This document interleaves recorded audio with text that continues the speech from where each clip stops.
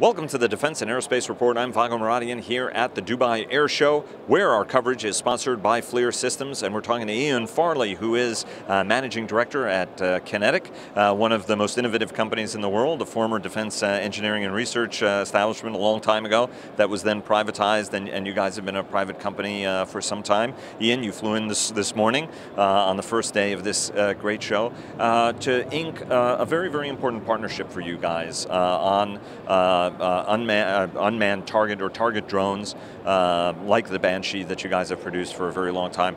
Talk to us about that deal and why it's so, so very important for you guys in, in this very important market.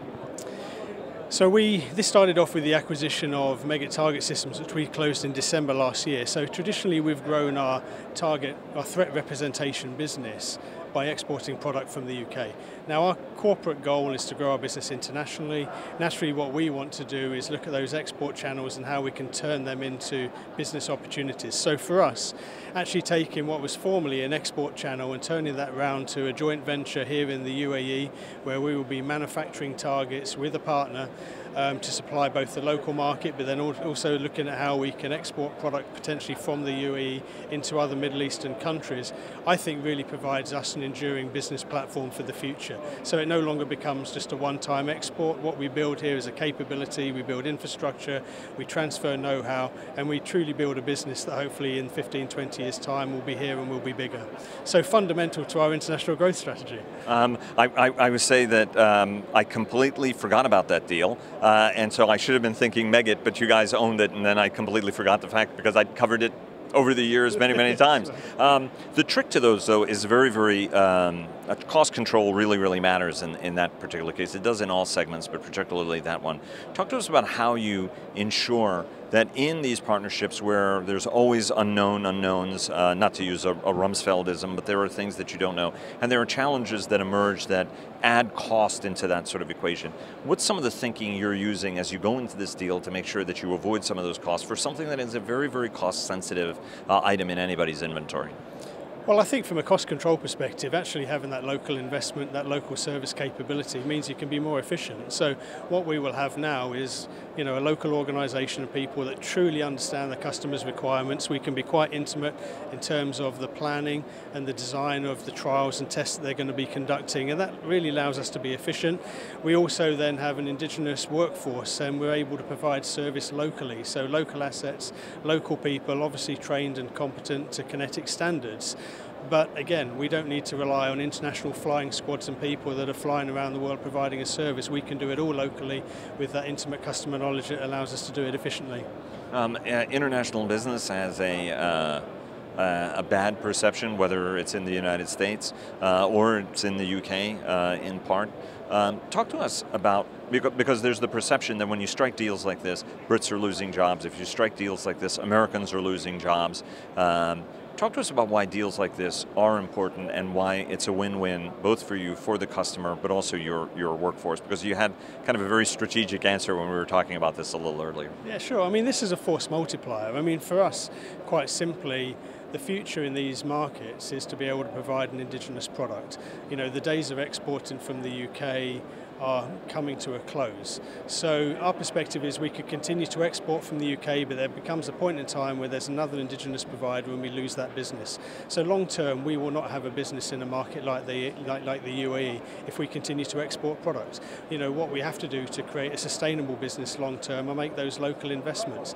The UK will be part of that supply chain. So even though we're going to be building a product here in the UAE, it's still good for the UK. We'll still be exporting components, and actually this business will then be become integral in terms of our whole global target service capability. So, you know, it, it actually becomes a force multiplier as opposed to just a discrete standalone business here that takes business away from the UK. Um, how do you maintain that engineering skill though? Because there's always a worry that as you do more of these things, it has a dilutive effect on your engineering capacity. How do you remain in the lead? Because it is an organization that literally for, for decades and decades and decades has prided itself on being on that cutting edge of innovation. Again, first as a government government lab, but then as a private company.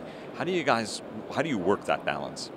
Well, so I think we have to phase that. I mean, we're not going to um, we're not going to move engineering responsibility to our joint venture here when we don't have people competent to be able to deliver a product or a service that meets QinetiQ standards. You know, so for the time being, ongoing product development will continue to be done Ashford in Kent or Medicine Hat in Canada, and you know we will transfer that capability and those products to the UAE when we have the competence here to do it. A key part of what we want to do is to recruit, um, develop, um, you know, local hires here that obviously go through training in the UK, in New Canada, to the standards that QinetiQ would expect of our operations globally. So we certainly won't be compromising, but we will be looking over time how we can migrate some of that capability into this market, retaining where necessary the high degree and the specialist skills, you know, in the uh, centres of excellence that we may have in Canada or UK at the moment. And what are some of the other things you guys are highlighting here? I mean, um, you guys do have a vast array of, of, products. At AUSA, we had an opportunity uh, to spend a little bit of time with uh, some of your folks on, on the unmanned land system side of things, where uh, you have something that looks like a World War I tank, but can carry a whole bunch of things and follow behind soldiers, which was very cool. Um, talk to us about some of the other things you guys are highlighting and featuring here.